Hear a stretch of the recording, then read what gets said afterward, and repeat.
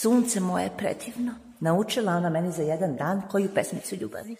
Od McDonald's. Od McDonald's. Jedno se dogovorili. Znači, poslušajte prvi prislične dežice. Piki, nemoj tako duboko da držiš levu. Tako. I onda okrenemo taj prvi prema dežici. Da te čekam spreman, znaš.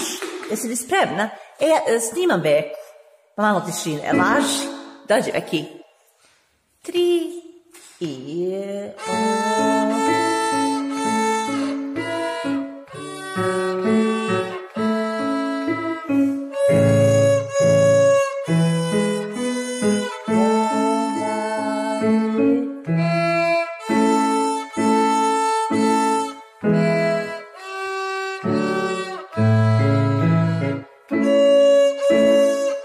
je...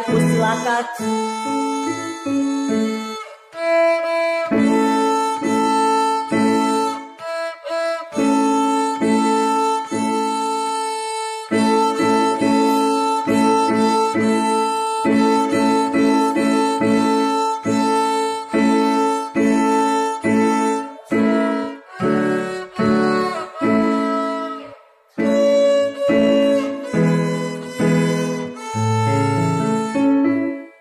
Bravo, sunce moje.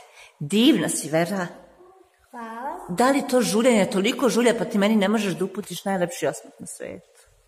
Tako, tako, tako, budi zadovoljna, svaka ti čast. Znači, jasno ti šta treba da popraviš. I pusti slobodno lakat i uživaj. Mama, kupuj podmetač. Mama, kupi podmetač za svoju princezu, da, da je ne žulja ovaj vrat. Laž. Hvala, Veki. Emi, sad nas dve. Nesi violinicu. I gudalo je violinu. Ovdje je gudalo, Lolo.